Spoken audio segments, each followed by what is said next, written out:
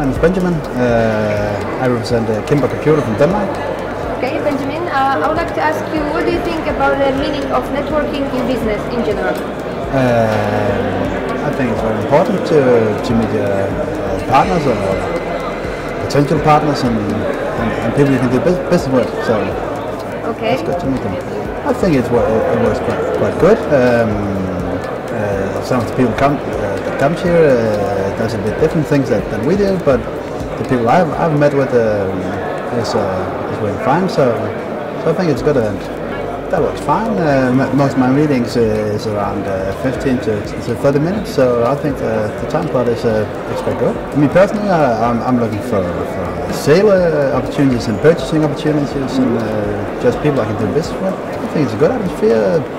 The, the, the is buzzing all over, and I think people are, are getting that out of out, that out of it that they want.